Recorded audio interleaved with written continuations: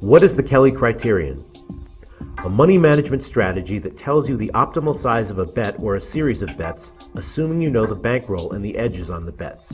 Why should I use this? To help you maximize the long-term growth rate of your bankroll if you are a positive EV handicapper by staking the optimal fraction of your bankroll based on your advantage.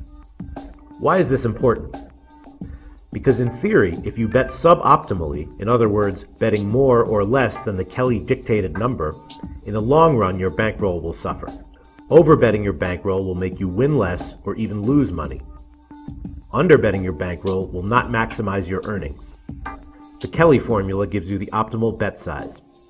Who should use the Kelly criterion? Sharp bettors who can estimate the probability of winning a bet. According to SBR's math model expert Justin Seven, the main downfall of using this approach is that most sports bettors overestimate their edge. If you're not using some pretty advanced techniques to evaluate your edge, you have no business using Kelly. But nevertheless, no matter how sophisticated of a handicapper you may be, the concepts behind the Kelly criterion are essential for every sports bettor to understand. How do I use the Kelly criterion?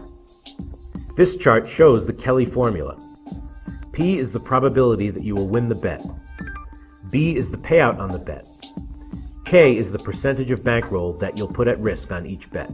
Let's try some examples. Example 1, the coin toss. Let's say you have a weighted coin that will come up heads 52% of the time and someone offers you even money odds on the call. So, P is 0.52, B is 1, and K comes to 0.04, or 4% of your bankroll.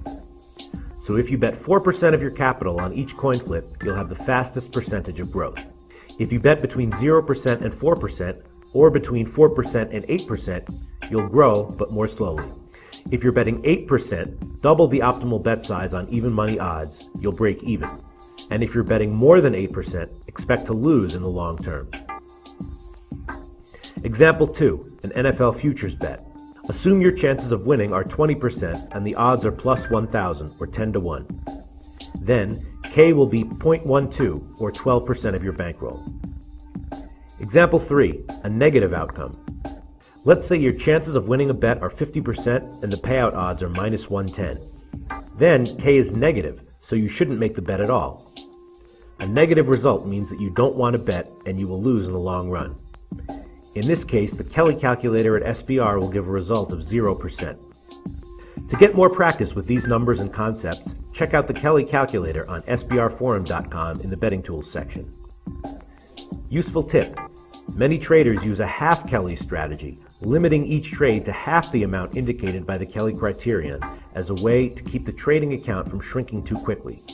They're especially likely to do this if the Kelly criterion generates a number greater than about 20%.